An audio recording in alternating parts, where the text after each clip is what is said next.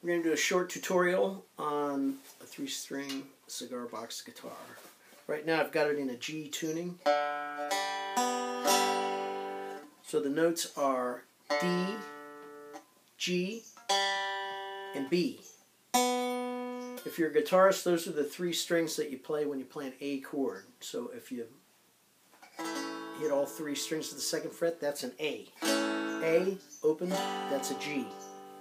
This is a good tuning for old-time music, uh, fiddle, banjo music, that sort of thing.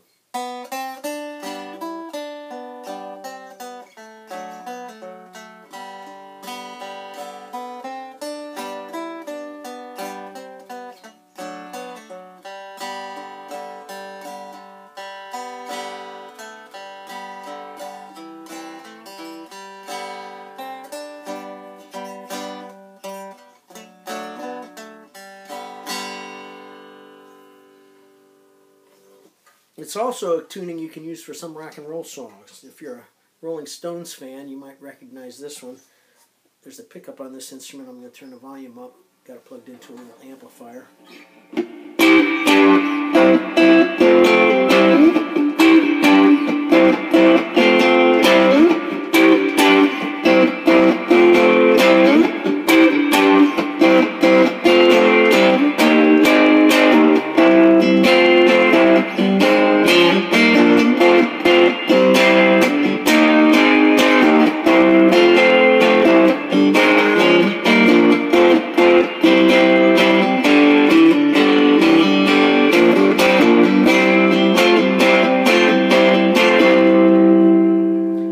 Easy to do. I'm just barring all three strings with one finger and I use the other two fingers to hit that string right there and that string right there.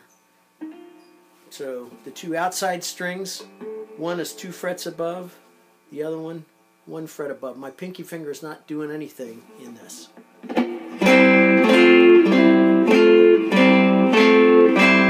Here's another one.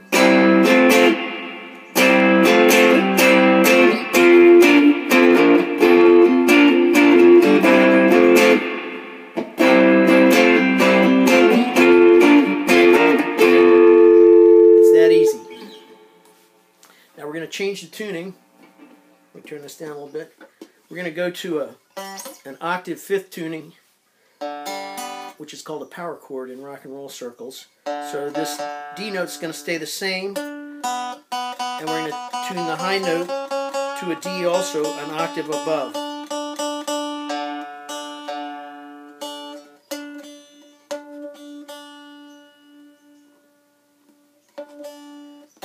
And we're going to bring the center string up a, little, a step. So both D's with an A in the middle. And uh, make a little change to my amplifier settings here. And this gives you a kind of a, a bluesy Texas Delta whatever kind of a sound.